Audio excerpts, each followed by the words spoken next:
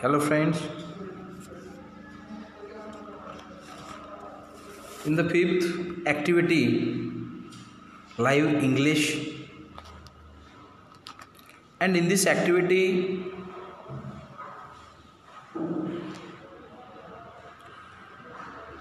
we have to knowing about our English language. English is not something that you see only in your textbook and classroom, but we use English for many purposes in our day to day life. You can see in the world, English is official language, political language, computer language, mobile language. And when you go to hospital, so many doctors speaking in English. Lawyer, politician, actors, also our sons uses english language for communication and sometimes we have to fill in forms and applications in english and in this activity here a specimen of an application form for a library membership for borrowing books. Can you fill it on your own? Don't take help to others.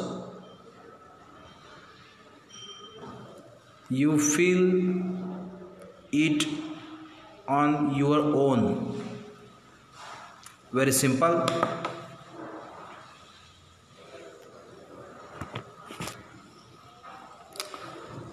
तो इस activity में हमको English का महत्व समझाया है English कौन से भी आप ऑफ़िस में जाओ, वहाँ इंग्लिश ही यूज़ होती है। हमारा भारत देश विभिन्न राज्यों का देश है। अगर कहीं हम साउथ में चले जाएँ तो इंग्लिश आनी चाहिए। अगर कोई प्रदेश जाता है तो भी इंग्लिश आनी चाहिए। आजकल official language political language computer language mobile language ये सब इंग्लिश हो गई है। और दुनिया भर का सारा जो ज्ञान है, विज्ञान है, वो सब इंग्लिश लैंग्वेज में समाया है।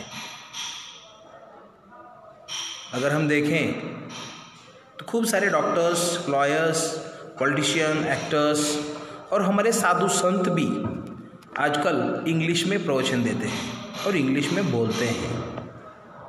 तो आपको इंग्लिश आपकी जो इंग्लिश है टेक्स्ट बुक तक और क्लासरूम तक सीमित नहीं है। आपको इंग्लिश का अच्छा स्टडी करना पड़ेगा।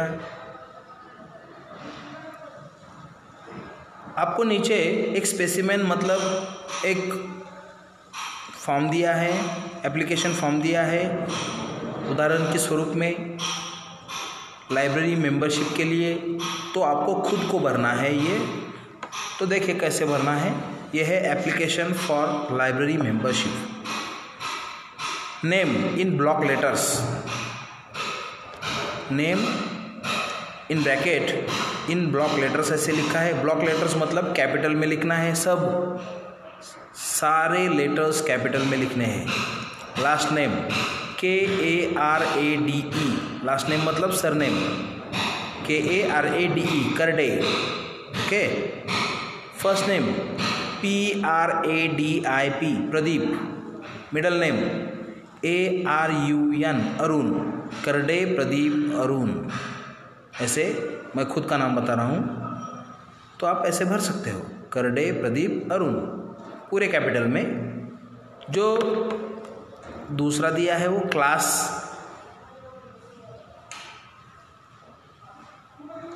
क्लास क्लास आप कौन से कक्षा में हो?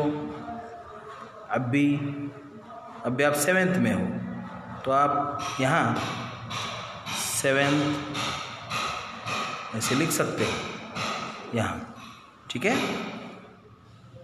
सेवेंथ डिवीज़न ए बी जो भी डिवीज़न है, यहाँ लिख सकते हो।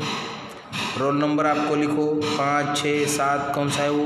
Date of birth date of birth के नीचे डी डी मतलब डे लिखना है यम यम मतलब मंथ लिखना है, और वाई वाई मतलब ईयर लिखना है। ये देखो यहाँ D D M M Y Y है ना? डी डी मतलब मेरा जो जन्मदिन है, मैं वाली आपको बताता हूँ। ज़ीरो वन डे में मंथ में ज़ीरो वन एक एक nineteen eighty four one nine eight four okay address at post Agadgaon taluka Barshi district Solapur, और pin code four one three four zero nine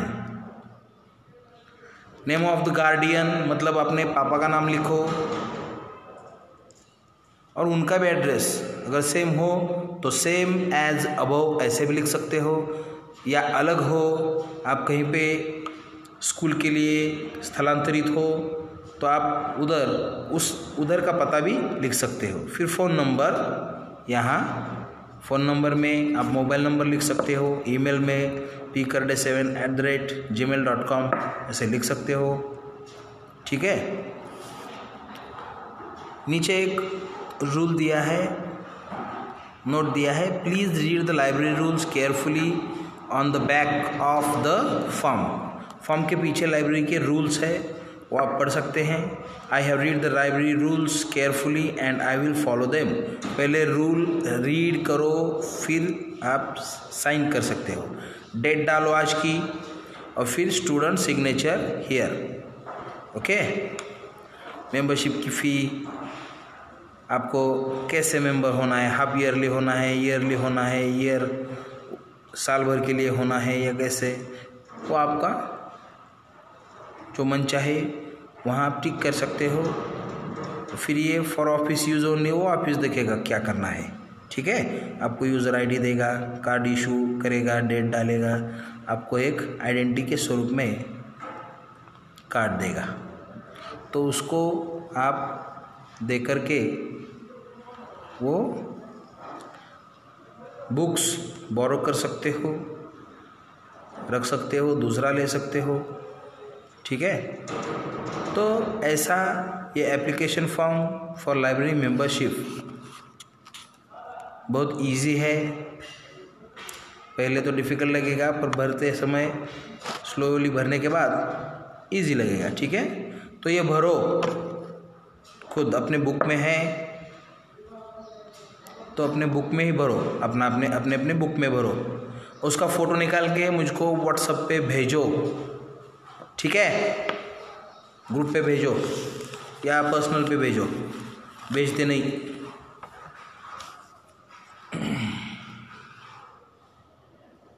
मैं सिर्फ़ खाली पढ़ा रहा हूँ आपको। आप तो एक भी फ़ोटो नहीं भेजते। ठीक है थैंक यू